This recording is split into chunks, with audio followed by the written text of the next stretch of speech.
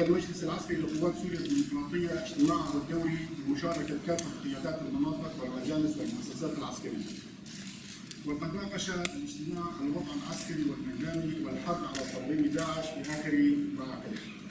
كما ناقش الاجتماع مرحلة ما بعد انسحاب قوات الولايات المتحدة الأمريكية وأيضا ادعاءات الدولة التركية والمنطقة الآمنة ومستقبل العلاقات. عايزين أن نكون جزءا من المنظومة الدفاعية السورية ولكن يجب أن نراعى خصوصية قوات سوريا الديمقراطية، قوات سوريا الديمقراطية آه، تدعم وتساند تحرير عفريت وإعادة كل النازحين الذين هجروا من أراضيهم.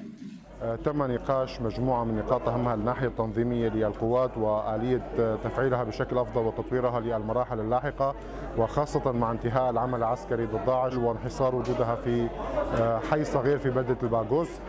من ناحية أخرى هناك موضوع التهديدات التركية والتي نرى فيها ادعاءات تقدمها الحكومة التركية ادعاءات غير صحيحة. في كل الأحوال نحن جاهزون للدفاع عن مناطق شمال وشرق سوريا. أما بما يخص الحكومة السورية فليس هناك علاقات مباشرة كقوات سوريا الديمقراطية معها. ولكن نظرتنا لهذا الموضوع هي الوصول إلى سوريا موحدة وإمكانية تشكيل قوة عسكرية موحدة تحافظ على خصوصية قوات سوريا الديمقراطية.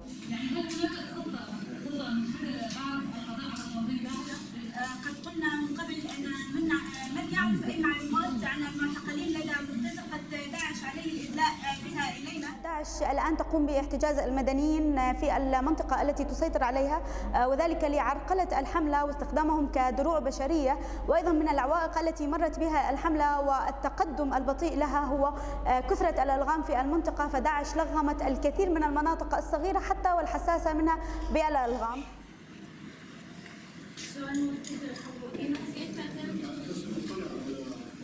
مهم